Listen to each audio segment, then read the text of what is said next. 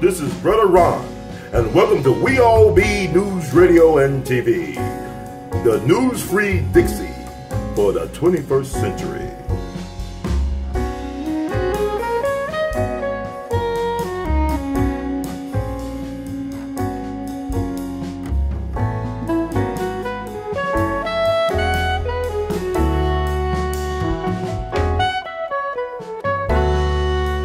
Greetings, boys and girls, scholars and laymen, and welcome to another wonderful, infotaining, edutaining edition of The Art of His Instincts. I'm your host for the empowerment segment, Brother Ron, also known as R2, C2, H2, The Artivist. Now, I just want to, you know, this today is July the 4th, the 4th of you lied, the 4th of O lies.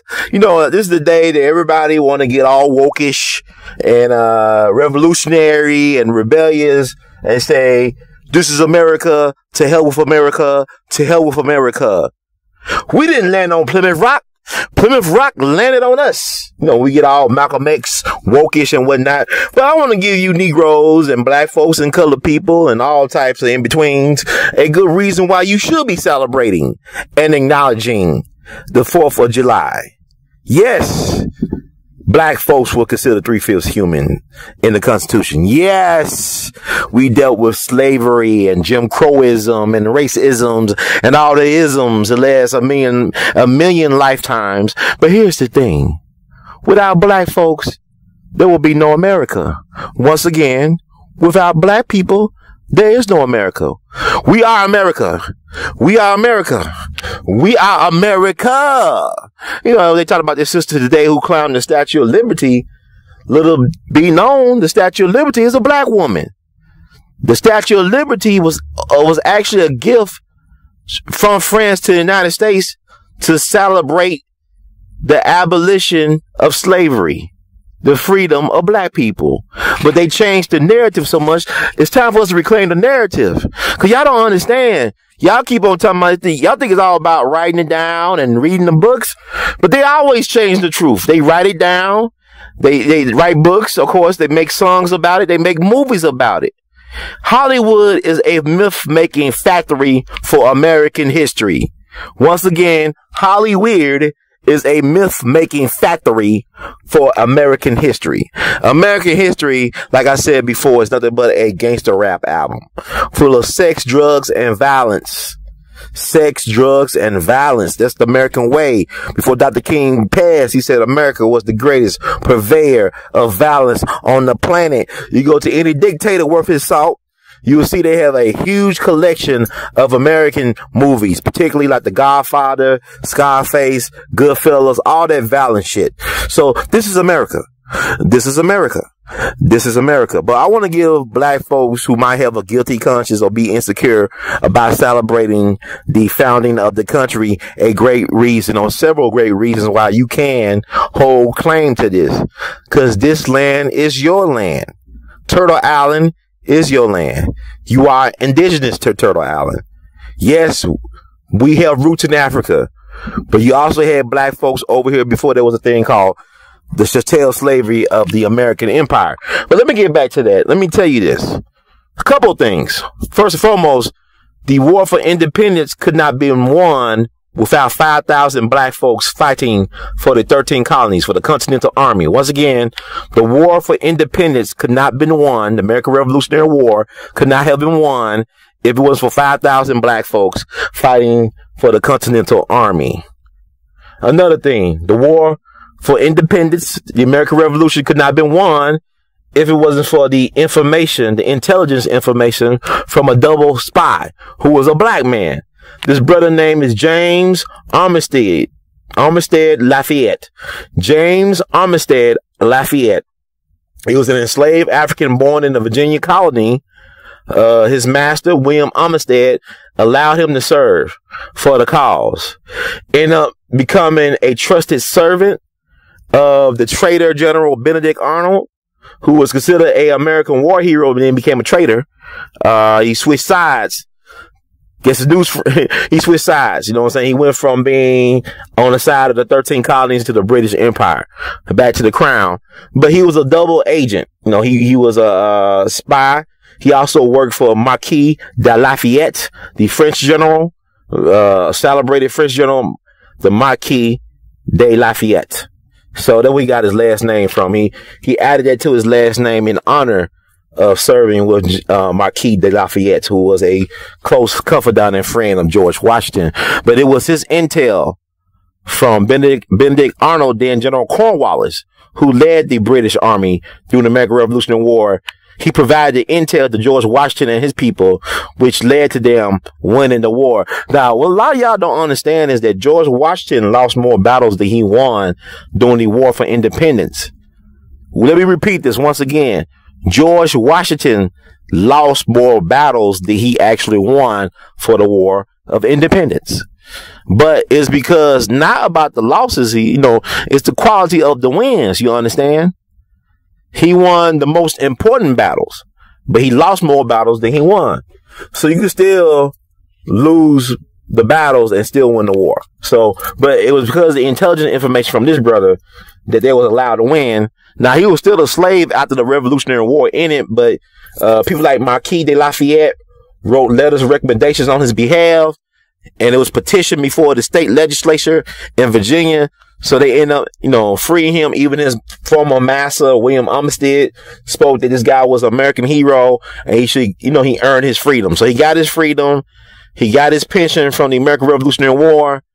Some people say he was born 1748, 1760, but he ended up dying around 1830. But back in 1824, Marquis de Lafayette had a hero's welcome in America. He visited all 24 states of the then Union.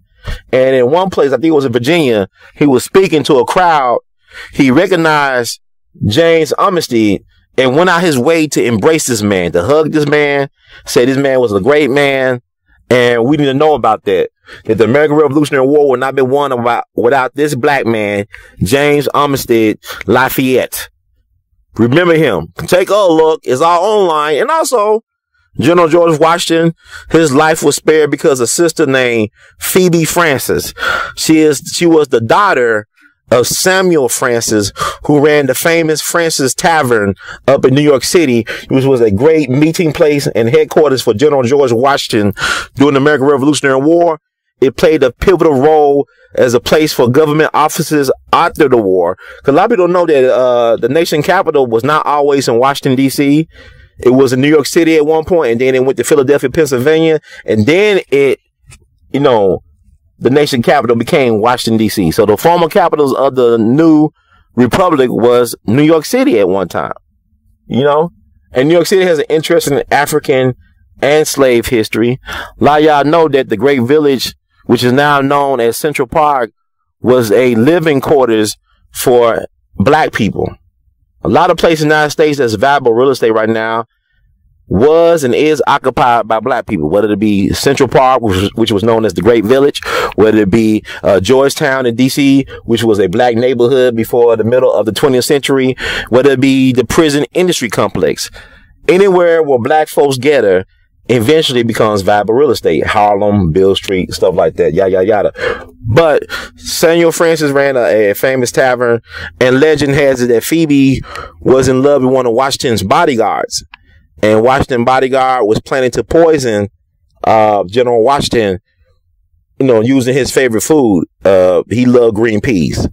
So the plot was thwarted by the daughter, and the guy was caught, and he was eventually tried and hanged. Uh, but you know, people say, well, this person probably never existed. Even with Samuel Fraunces, uh, he's a guy from the West Indies. Some people say he was mulatto, black, mixed, Haitian. Some people show him as white. There's a uh, portrait, alleged portrait of the of the man hanging in Fraunces Tavern. Yes, that building still exists. It's arguably the oldest building in New York City, and it's claimed to have been him. It was won in an auction back in 1913. Uh, the Sons of the Revolution paid for the painting, but who knows? because they made Beethoven white over the years and generations. Beethoven was a black man. He was known as the Blackmore, a Blackamoor or the Moor. So, I mean, this guy was known as Black Sam Fraunces, But you look at him now, they trying to say he's white. Now, it was a guy who claimed to have been an acquaintance, at, you know, of George Washington, who was at his farewell speech. Um, this guy back in 1838 said this guy was a black man. And I really do believe he was a black man because they have a movie, a silent movie from the 1910s, I believe, or a stage play where they show a white person playing Samuel Fraunces in blackface. So, but look at Black Sam Fraunces. Very fascinating character. It's funny how we don't know too much of his biographical information, but he actually did existed. Cause his tavern, the building that was known as his tavern is still around, and I believe is a museum. But, you know, Phoebe Fraunces. And that's a part of the American folklore. Like I said, American myth is American history. Hollywood is the myth making factory for American history. So who knows what these people really were? Were they black and white? And I truly believe he probably was a black man because they try to make him white. They trying too hard to claim that his white. is like Alexander Hamilton. They say he was black or mixed or mulatto or octoroon. He's from the West Indies too. They say his brother was, was, you know, darker. He, he couldn't pass like Alexander Hamilton.